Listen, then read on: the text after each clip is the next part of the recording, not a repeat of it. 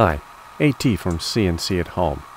Here we have the Atomstack P7 and I want to do a material test. We've done many many coasters in the past where it's been painted with white paint. We burn it with the laser, it turns black, we get the paint removed and where it turned black adheres. Every time you get a new piece of equipment, the feeds and speeds are going to be different. With our Atomstack P7, we need to determine what are the best burning parameters, both with power and speed for this particular laser. So I'm using my zeroing template. I put a tile in here, you know, tight up into the corner so it's nice and zeroed. Our focusing plate slides just underneath the laser head so it's focused correctly. The next step is to go into Lightburn and set up a burning or material test grid and get that burned out and see what it looks like. I'm going to go set that up in uh, Lightburn. I will also do a homing cycle on the laser and then we'll do some testing of this material. Let's perform a quick framing option to make sure that everything is going to be burning on our tile. That looks good. I have my settings. In Lightburn, my minimum speed is going to be 1,000 millimeters per minute. The maximum is 2,800. The power settings are going to go from 35% up to 80%. Uh, I don't want to hurt this new laser and I don't want to drive it at 100% all the time. So I don't want to be doing burns greater than 80%. That's why I'm limiting it to 80.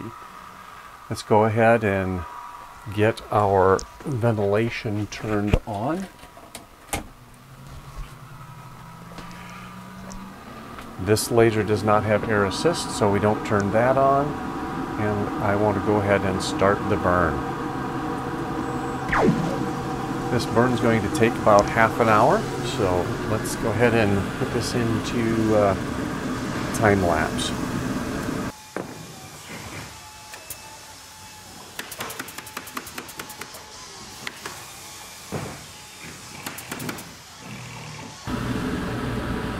This burn initially looks like it has some really good parameters to it.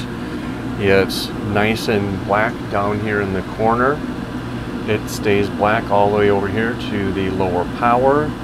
We have good black through this entire area and then it starts to get gray up here at the higher speeds and the lower power. This is the kind of pattern you're looking for. You want something where you got some variety of power and speeds. Once we get this cleaned up, we'll see what actually worked. It always looks better before it gets cleaned. Once it's clean though, we'll get a good idea of what powers work best on this laser for doing white tiles.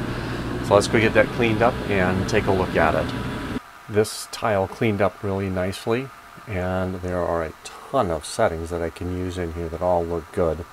Even down to 35%.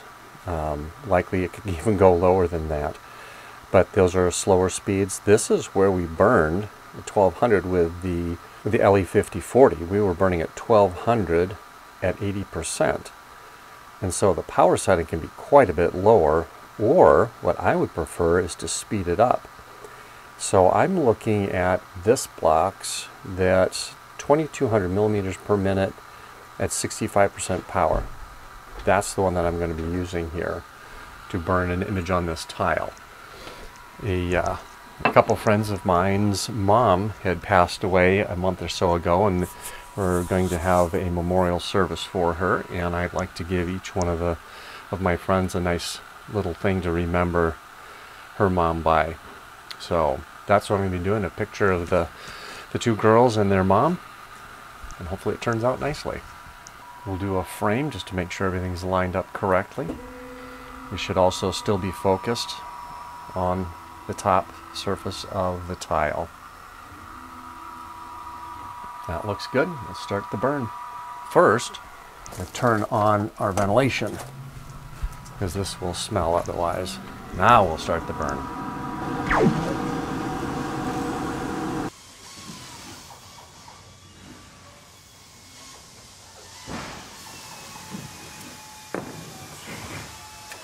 That image turned out nicely. I'm going to go into the garage and clean it up a little bit. There's still some paint on there. Once that's cleaned off, it will lighten up probably a little bit, but it still should look really good.